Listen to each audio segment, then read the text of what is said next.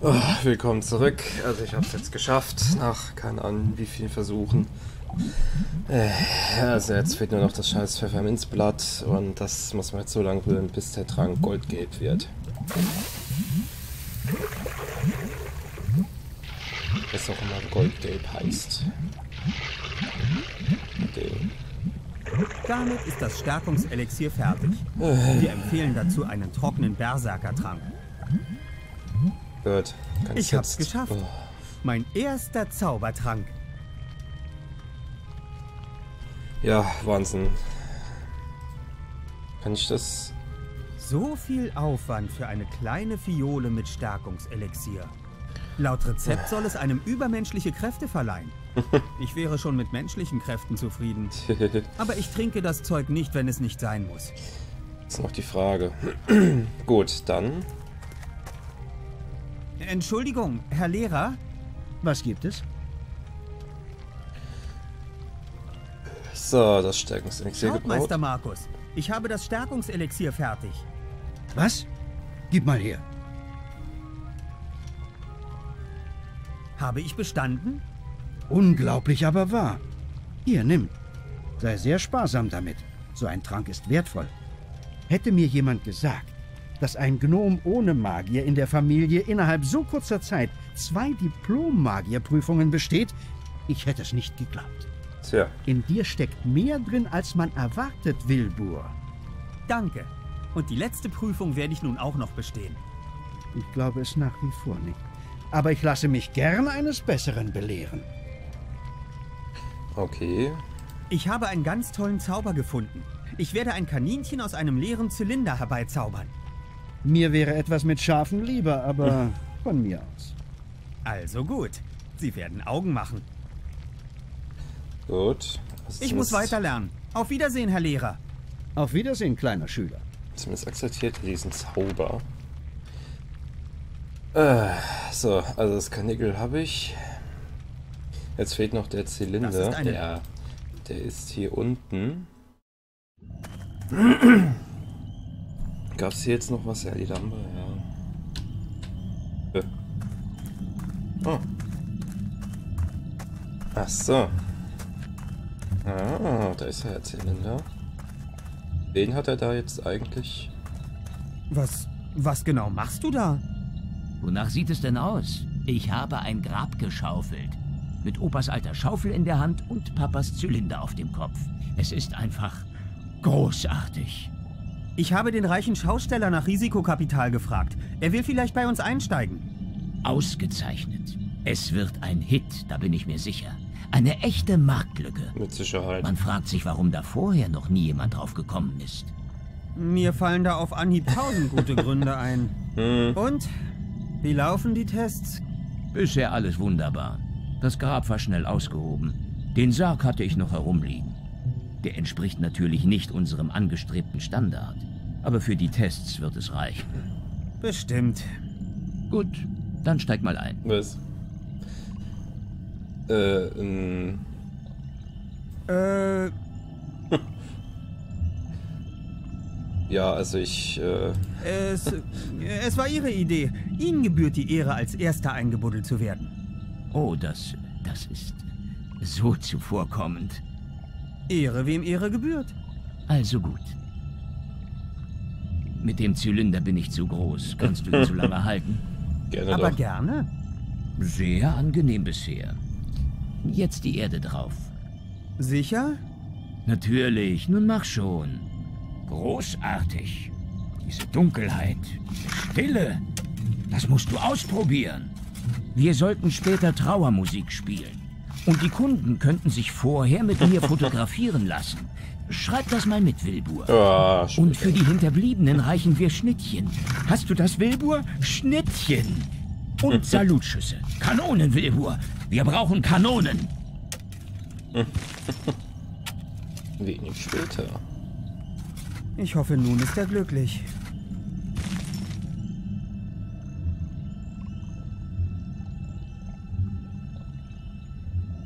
Ja, gut.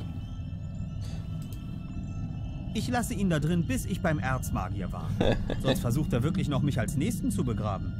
Ja, könnte ich mir vorstellen. Kann ich jetzt hier irgendwelche Sachen klauen, vielleicht? Ich habe die Seite mit meinem Namen aus dem Buch herausgerissen. Ich hoffe, der Tod bekommt keinen Ärger. Naja, gut, wenn es hier sonst nichts gibt. Ja, dann zum Wuppermann. Hallo?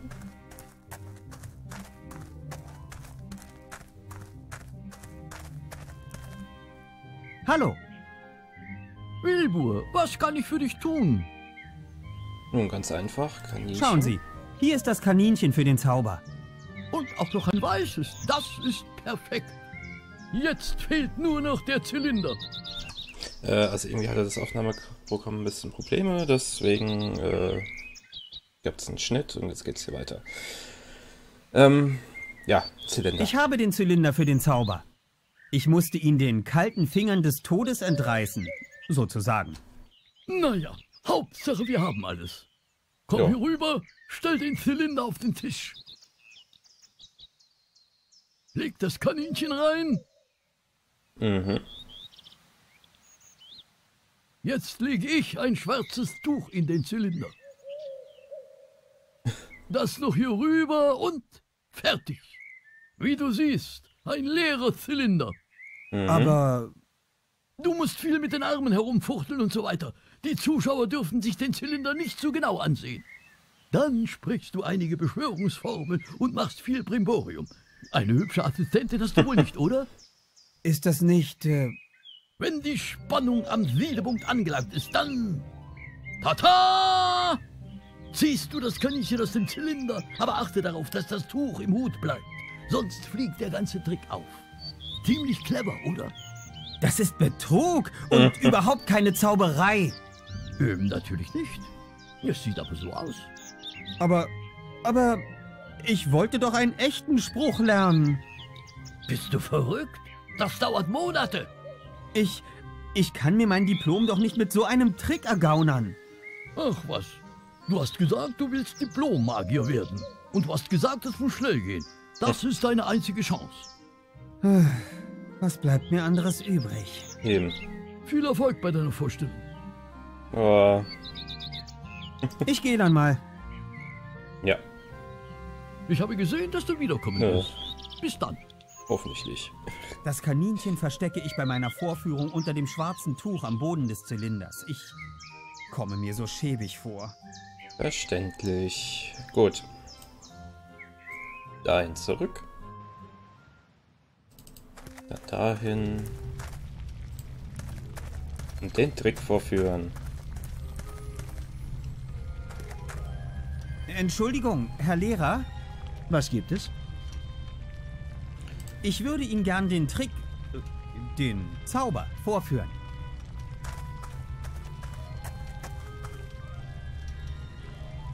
Ich bin gespannt.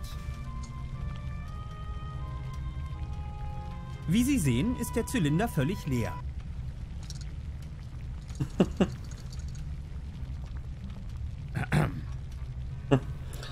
Ja. Ähm, Hex, Hex.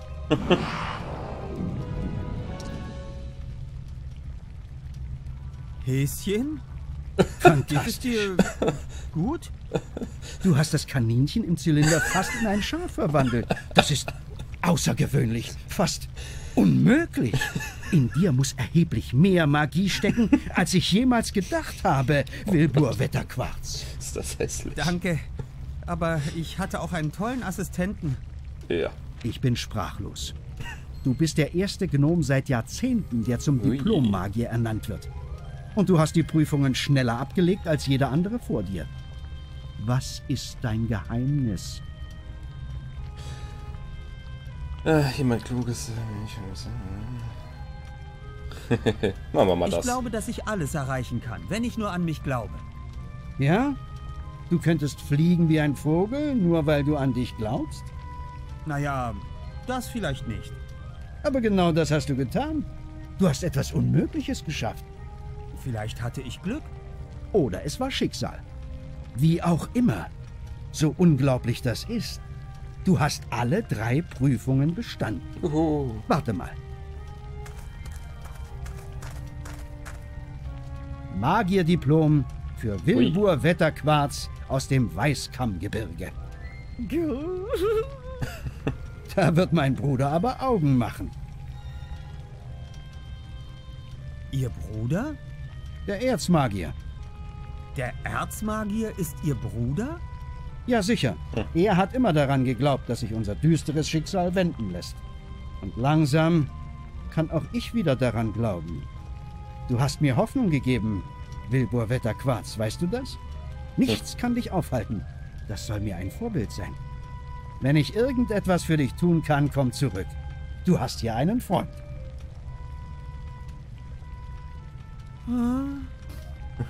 Nun geh schon. Du hast lang genug gewartet. Gib meinem Bruder, was du ihm geben willst. Jetzt sieht das wenigstens nach einem Zauberer aus.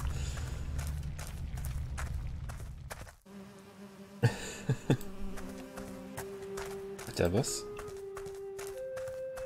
Wilbur, Hallo, Herr König, guck mal. Ich bin Diplommagier. Ich habe dir doch gesagt, dass du es schaffen wirst. Wir sind alle so stolz auf dich. Danke. Unsere Arbeit hier ist getan. Wir sind alle wohl genährt. Ich denke, jetzt heißt es Abschied nehmen. Ihr wollt raus aufs Land. So ist es. Aber wenn du willst, kannst du uns ja besuchen kommen. Meister Wilbur Wetterquarz wird bei uns Ratten immer willkommen sein. Auf Wiedersehen, Wilbur. Bis bald. Ja. Mal sehen. Hm, nein, mehr Okay. ist nicht drin. Gut. Ich lege die Fahne in den Eingang. Ah. Sehr Schon gut. hilfreich, wenn man Verbündete hat, die sich in der Stadt gut auskennen. Alles klar. Sollte man vielleicht den Tod wieder ausgraben? Na, egal. Hey, Stadtwache, schau dir das mal an.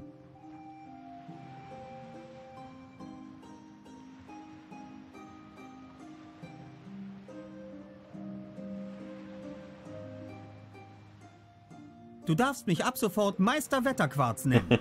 Und ich will nun sofort den Erzmagier sehen.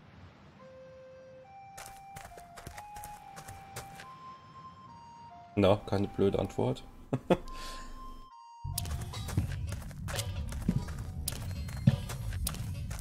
Nun, was gibt's? Warum trägt dieser Gnome Magierkleidung? Euer Ehren, dies ist Meister Wilbur Wetterquarz, ein Diplommagier und damit Mitglied eures Ordens. Unfug. Ich kenne alle Magier in diesem Land. Aber es stimmt. Ich habe heute mein Diplom bei eurem Bruder gemacht, Meister Markus. Ich halte das für ausgeschlossen. Ich habe keine Zeit für solche Albernheiten. Hinfort, Gnome! Aber ich soll euch etwas geben.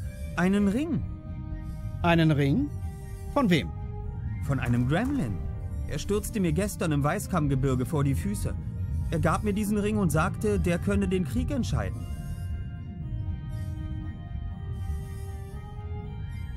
Hm, Meister Alistair, ich wende mich in ebenso großer Eile wie Furcht an euch. Ich habe eine Entdeckung gemacht, die unser aller Schicksal... Ich weiß, wo sich das Artefakt des Schicksals befindet. Uh. Ihr kennt natürlich die Geschichten, euer Durchlaucht. Ein legendäres Artefakt, von der Göttin des Schicksals und der Vorhersehung persönlich erschaffen. Ein außerordentlich kostbares und gefährliches Ding. Denn seinem Träger ist das Glück hold. Alles, was er versucht, wird ihm gelingen. Alles, was er begehrt, wird er erhalten. Sein Schicksal wird sich immer und zu jeder Zeit zum Guten wenden. Eine wahrhaft fürchterliche Macht. Eine göttliche Macht. Denkt nur, sie würde dem Feind in die Hände fallen. Ich habe herausgefunden, dass das Artefakt auf einer kleinen Insel namens Sordia in einem Tempel versteckt ist. Ihr müsst es finden und sichern. Ihr müsst! Helft uns, Meister Alistair. Ihr seid unsere letzte Hoffnung.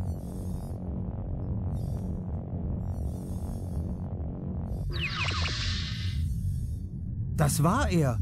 Das war der Gremlin, der von diesen finsteren Typen auf dem Drachen fortgebracht wurde. Schatten? Die Schattenarmee hat diesen Gremlin gefangen genommen? Sir, wir müssen sofort alles und jeden zu dieser Insel schicken. Jedes Schiff, jeden Greif, jeden... genug. Wir müssen uns unauffällig verhalten. Wir wissen nicht, welche Informationen die Schatten schon haben. Und wir dürfen sie nicht auf die richtige Spur bringen. Nein, Sir. Aber wenn Sie den Gremlin haben, dann wird es nur eine Frage der Zeit sein, bis... Die Insel Sordia. Wo zum Teufel soll das sein? Ich habe noch nie etwas davon gehört. Ich werde die Stadt für einige Tage verlassen. Ich muss im Archiv nachforschen. Aber in den Archiven von Seefels gibt es jede Menge... Schweigt, Wächter! Ich werde eine Gruppe vertrauenswürdiger Mitstreiter zur Insel schicken, sobald ich sie ausfindig gemacht habe. Und ihr? Ein Wort von dieser Botschaft, nur ein einziges Wort zu wem auch immer. Und ich werde euch zu feinem Pulver zermahlen. Ist das klar? N natürlich. Klar ist das klar, Sir. Geht. Lasst mich mit dem Jungen alleine. Und lasst niemanden, ob Magier oder nicht, hier herauf. Verstanden? Verstanden, Sir. Und ihr, Meister Wetter... Dings. Ihr habt eure Sache gut gemacht. Wetterquarz, Sir. Danke. Mein Opa wird mir die Geschichte kaum glauben, wenn ich sie ihm erzähle. Das... Das dürfte so bald nicht möglich sein. Du musst hier bleiben und die Stellung halten. Ich will, dass du dich auf eine kleine Expedition vorbereitest. Du und zwei Freunde, ihr sollt das Artefakt holen, sobald ich die Insel ausfindig gemacht habe. Aber wenn es um etwas so Wichtiges geht, sollten da nicht doch lieber erfahrene Schatzsucher... Ach was, Blödsinn. Dich kennt niemand. Für den Feind existierst du nicht. Du wirst keine Aufmerksamkeit erregen. Das ist unsere wichtigste Waffe in dieser Angelegenheit. Bevor der Feind überhaupt weiß, was vor sich geht, seid ihr schon längst wieder zurück. Aber ich denke... Genug geredet. Ich bin der Anführer des Ordens und erteile dir einen Befehl. Such dir zwei Freunde und warte hier auf mich. Sprich mit niemandem über die Sache. Wegtreten!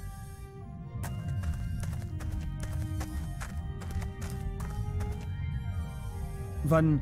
wann werdet ihr wieder zurück sein? So schnell wie möglich. Aber ein paar Tage kann es schon dauern, bis ich weiß, um welche Insel es sich handelt. Der Gremlin hat mir gesagt, in seinem Geheimkeller sei ein Buch versteckt, das den Weg zum Aufbewahrungsort des Artefakts beschreibt. Tatsächlich? Das ist gut zu wissen. Das lief doch besser als erhofft. Ein teuflischer Plan, Munkus. Gut gemacht. Du kennst nun den Aufbewahrungsort des Artefakts. Und der echte Erzmagier wird dir noch einige Tage von der Pelle bleiben. Mutter hält ihn auf Trab. Sie hat alles aufgefahren, was sie an dunkler Magie zu bieten hat. Wenn er wiederkommt, wirst du längst das Artefakt des Schicksals in den Händen halten und Seefels wird brennen, genau wie jede andere Stadt der Allianz.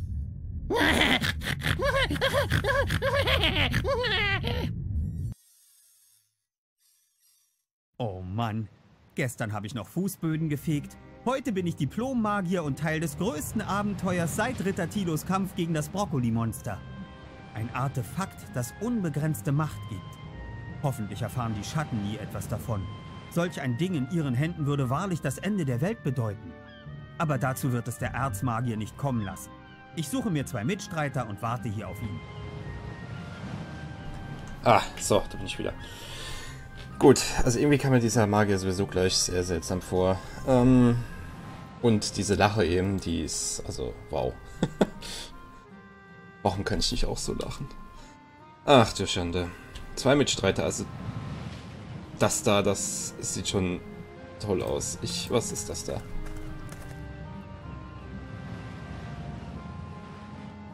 Bei den Göttern. Ui. Das ist eine Orkfrau.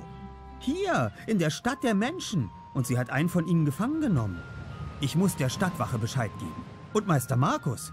Gemeinsam müssen wir kämpfen bis zum letzten Tropfen Blut und... Ich kann dich hören. Bleib da stehen. Ich... Ich bin ein Magier. Das sehe ich. Ein gefährlicher Kampfmagier. Mhm. Das wage ich wiederum zu Ja, er bezweifeln. kann, ihn, kann sie in ein du? verwandeln, also... Was willst du hier und wie bist du hierher gekommen? Eine Menge Fragen. Warum sollte ich sie dir beantworten?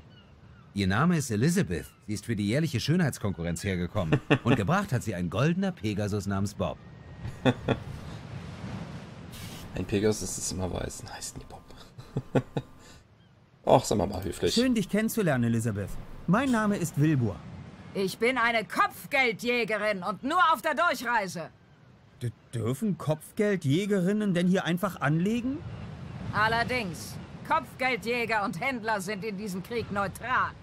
Die Kopfgeldjäger wollte nur niemand haben. Ich warte nur auf Jorge mit meinem Proviant, dann bin ich wieder weg.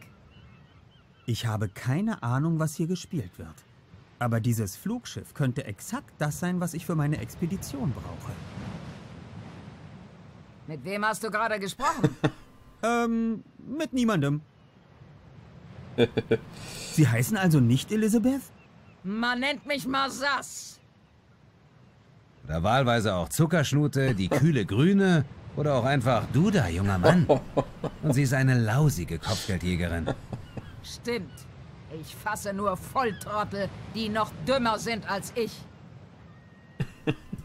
Ja. Wohin wollen Sie denn Ihre, Ihre Gefangenen bringen? Das geht dich kaum etwas an, Zwerg. Sie wissen es. Und das ist genug. Ich bin kein Zwerg. Ich bin ein Gnom. Richtig so, lass dir nichts bieten. Verwandle sie in ein Schaf. Ich kann nur Kaninchen in so eine Art Schaf verwandeln. Toll, das ist hilfreich. Mhm. Ich muss weiter. Das war Wenn bisher du den hilfreich. Krämer siehst, dann sag ihm, dass ich ihm die Ohren rausreiße, wenn er nicht bald hier antrabt. Okay. Kann ich das jetzt endlich Ein mal... großes Netz? Es könnte ein Fischernetz sein. Oder vielleicht auch ein Netz, in dem man Waren eingewickelt hat. Nimm's einfach mit. Dankeschön. Seil. Ein aufgerolltes Seil. Man sieht ihm an, dass es schon oft benutzt wurde. Auch mitnehmen, bitte. Was glaubst du, was du da Oh. tust? Das ist mein Seil. Na und? Dein Seil? Es gehört zur Mary und damit ist es mein Seil.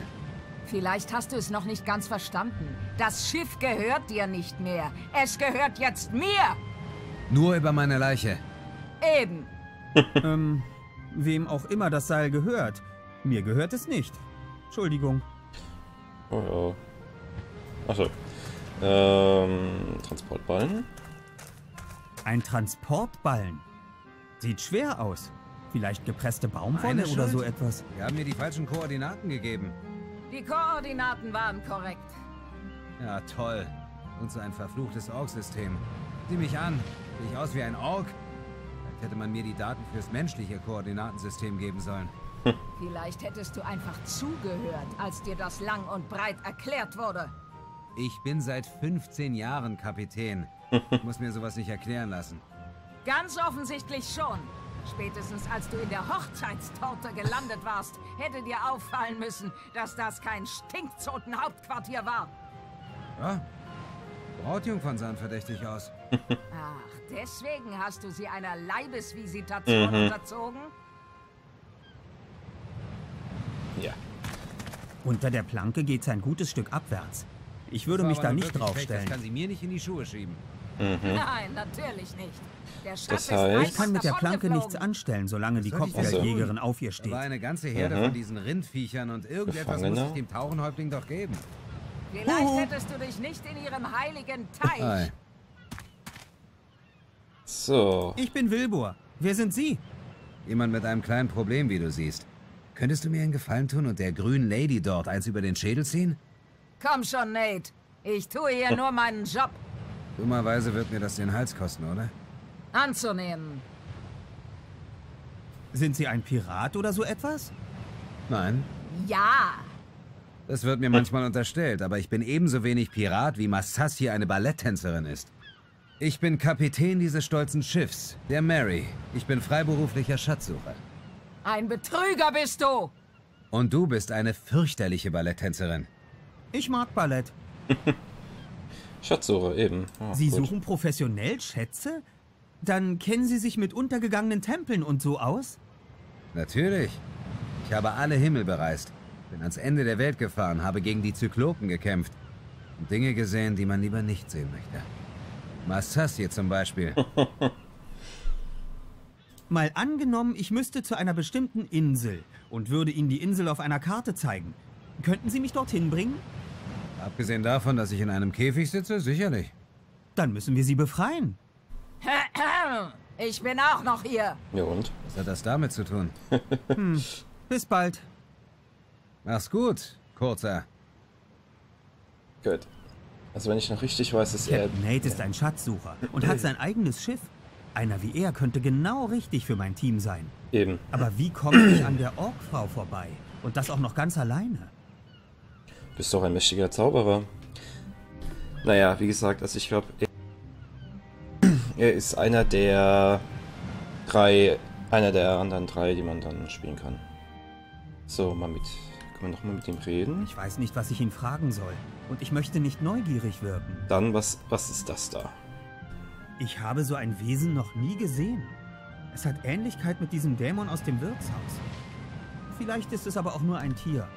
Na, ich weiß ja nicht. Es, es könnte so eine Art Otter sein. Ein Stachelotter. Mhm. Ich glaube, das ist das Vieh oder wie das heißt, aber naja, man wird es ja noch rausfinden, denke ich mal. Als Bergbewohner kenne ich mich mit Schiffen nicht so aus. Aber das nennt man ein Ding. Verstrebung. Ich weiß nicht, wofür das Rohr gut ist. Aber es hat etwas mit ähm, Luftschiffen zu tun. Ich könnte mir vorstellen, das irgendwie losmachen, auf sie drauf. Sie fällt durch die Blanke. Gibt es hier noch irgendwas? Ein Transportballen. Sieht schwer aus. Ja, gut, okay. Das kennen wir ja. Ähm, Brunnen. Das ist ähm, Meine Schuld? sehr Die haben mir die falschen Koordinaten gegeben. Die Koordinaten Ja. Ich weiß nicht, was das im Brunnen darstellen Ja, soll. toll. Aber ich hoffe, mir wird so etwas niemals begegnen. Sieh mich an. Ah, mal sehen. wie ein Ork. Vielleicht hätte man mir die Ansonsten- Daten ah, ja, hier. geben So ein Ding hat auch Herr Schildträger unten am Tor. Ich schätze, früher liefen hier Dutzende Wächter durch die wurde. Stadt. Ich bin seit Mhm. 15 Jahren Ich bin Magier, Kapitän. kein Kämpfer. Muss mir sowas nicht Und selbst wenn, ich könnte das Ding Ganz wohl höchstens als Lanze schon. verwenden. Spätestens als du in der Hochzeitstorte Okay. gelandet warst, hätte Der Balken trägt müssen, dieses kleine Dach. Er sieht sehr stabil aus. War. Der Balken trägt... Gut, also muss man den noch irgendwie... Ah, deswegen Ah, seid hast still. Aber ich kann sie trotzdem nicht nach Oh. oben lassen, meine Liebste. Sieh Ich an. sage es noch einmal. Ich muss dem Erzmagier ein Buch geben. Es ist wichtig. Ich weiß nichts von einem Buch. Und glauben Sie mir, was der Erzmagier zurzeit tut, ist viel wichtiger als Ihr albernes Buch. Aber Ende der Diskussion. Nur Diplommagier oder Leute mit einer Einladung des Erzmagiers dürfen in den Turm. Und um genau zu sein, momentan noch nicht einmal die. Tut mir leid.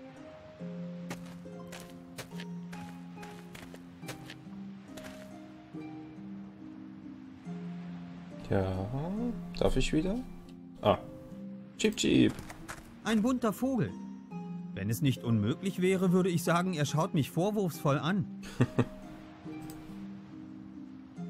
Hallo, hm. Hi. du bist eine Elfe, oder? Ja. Und du bist äh, so eine Art Waldkobold?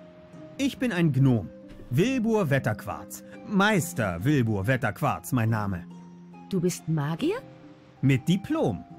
Dann darfst du rauf in die obere Stadt und in den Magierturm? Ja. Ich komme gerade von dort. Kannst du mich dorthin raufbringen? Wer sind Sie? Mein Name ist Ivodora Eleonora Clarissa, Prinzessin vom Silberwalddeich. Ja. Ui, ihr seid wirklich eine Prinzessin, Frau vom Silberwaldreich? Nenn mich Ivo. Der da heißt Cheap Cheap. Ich habe zufällig gehört, wie Sie mit der Stadtwache über ein Buch gesprochen haben. Wollen Sie das zum Erzmagier bringen? Ich muss. Es ist sehr wichtig. Kann es sein, dass Sie dieses Buch aus dem Geheimkeller eines Gremlins haben? Eines Gremlins, der kurz zuvor über dem Weißkammgebirge abgeworfen wurde? Raus aus meinen Gedanken, Magier. Sie haben mir den Professor beinahe auf den Kopf fallen lassen. Er hat mich mit einer geheimen Nachricht hierher zum Erzmagier geschickt. Konntest du ihm die Nachricht bringen? Ja, konnte ich. Sie war sehr beunruhigend. Gut. In dem Buch, das Sie da haben, steht, glaube ich, wo ein sehr mächtiges Artefakt versteckt gehalten wird.